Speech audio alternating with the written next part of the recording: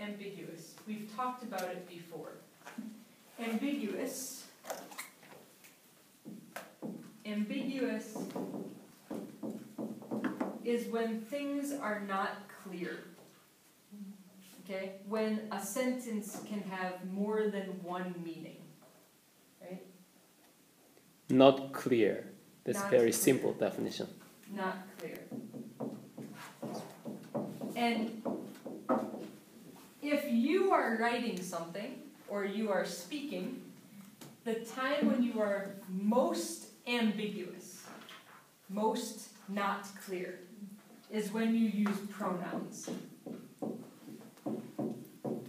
Right? Where pronouns, he, she, it, that, this, those, these, They. they. Yeah. Because if I say they play baseball, they what? Dade. Who is they? Right? And it was kind of funny. In uh, you expect people who give speeches to be perfect in their English, right? And you know that today was the day that we get the results from the American presidential election. Right? And a few months ago, President Obama made a mistake when he was talking. Okay? He was giving a speech about how a person who starts a business doesn't start a business alone. You have help. Someone helps you. Okay? And he said, you know, maybe you have a good teacher in your history or something. And like roads and bridges. Right? You didn't build roads and bridges. Right? The government built roads and bridges. And he made this comment that, you know, uh, a long time before he'd say, roads, you don't build the roads and bridges. Government builds that. And he says, so then if you have a company, if you have a business, a business,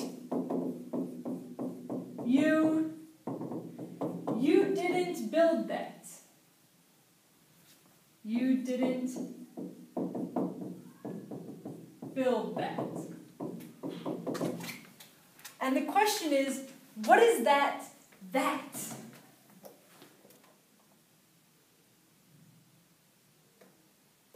What is that? And the answer to that is there's only one way to interpret this, and that's the business. You didn't build that. You didn't build your business. That wasn't what he was trying to say. It was a mistake. It was a grammar mistake. He didn't mean that. He meant those. Where those were the roads and bridges. Completely changed the argument.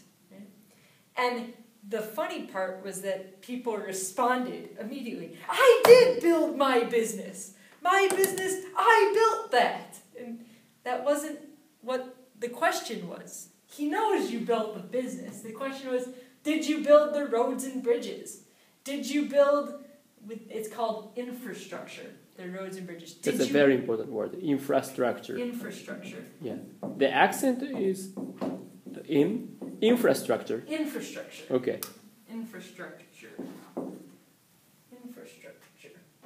In katakana, we often call that infra. Infra? Yeah.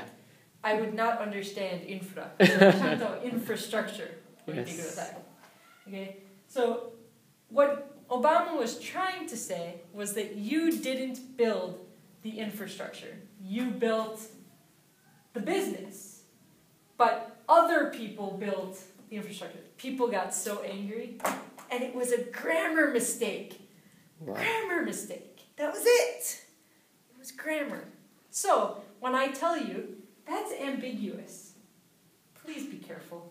Very good example of ambiguous. It was perfect. It was it's a perfect English teaching opportunity. Yeah, right. Thank you, So our te- government. teachers, school teachers are so pleased with his mistake. Per- perhaps. Yeah. I have a feeling that people were not pleased with this mistake. This argument went on for like two months. People were talking about this. Two months people were talking about this. People are still talking about this, Yeah. actually. And Especially the other side of people, right? Yeah, Not because- for Obama, but against Obama. Yeah, the people who are for Obama are like, oh, please. It was obvious. Obvious. It was obvious he meant infrastructure. Obvious he meant roads and bridges. And the other side being I can't believe how rude you are to say, I didn't build my business. I built my business. You did not build my business. The government did not build my business. It's pretty amusing. It was a grammar mistake. Grammar. So, studying English, very important for everyone. All right. Okay, good conclusion. Thank you.